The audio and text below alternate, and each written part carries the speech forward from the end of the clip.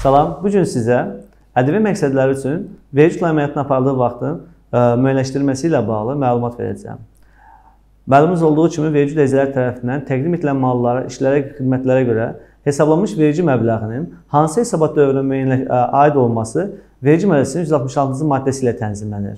Bugünkü mövzumuz 166-cı maddəsinin maddəsinin 4 bənd olmasına baxmayaraq 166.1-ci maddə ilə bağlı məlumat olacaq. 166.1-ci maddə daha çox ödəyici tərəfindən alacağı debitorlara münasibətdə ədəbi məbləğin müəyyənləşdirilməsi üçün müəyyənləşdirilmişdir. Yəni daha bu 166.1-ci maddə geniş olmasına baxmayaraq bunu daha yığcam şəkildə ifadə etmək istərdim.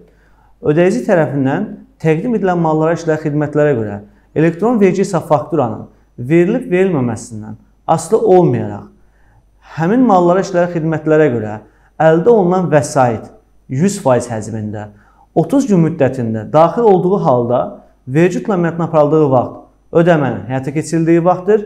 Yəni həmin əməliyyat baxmayaraq elektron qayma fakturla rəsmiləşdirilib, ödəmə 30 gün müddətində gəldiyinə görə həmin əməliyyat ödəmənin həyata ödəmənin qəbul etdiyin vaxtda təqdim edilmiş hesab olunur. Bu ədəbi tutma məqsədləri üçündür.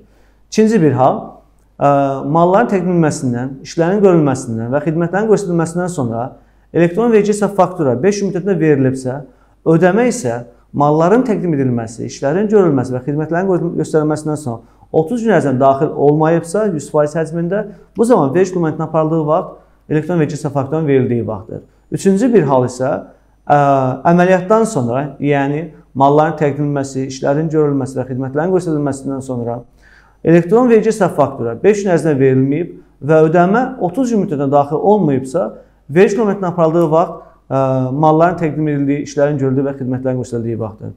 Praktikada daha çox rastlaşdığımız hallar ödəyicilərin ödəyici sahibkarlar tərəfindən vergi dokumentinin aparıldığı vaxt təqdim edilmiş elektron vergi hesab faktura əsasən müəyyənləşdirilir.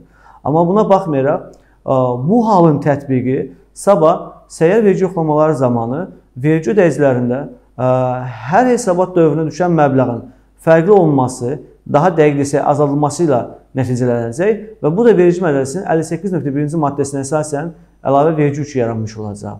Yəni vergi ödəyicisi yanvar ayında bəyan edəcəyi məlumatı şərti olaraq dekabr ayında bəyan edibsə və nəticə etibarı ilə ödənilməli olan vergi məbləği tam qaydada ödənilmişsə, amma buna baxmayaraq vergi məbləği hesabatda öz əksini düzgün tapmamışdırsa, həmin cari, həmin hesabat dövrü üzrə azaldılmış vergi məbləğinin 50% miqdarında maliyyə sanksiyası tətbiq olunacaq.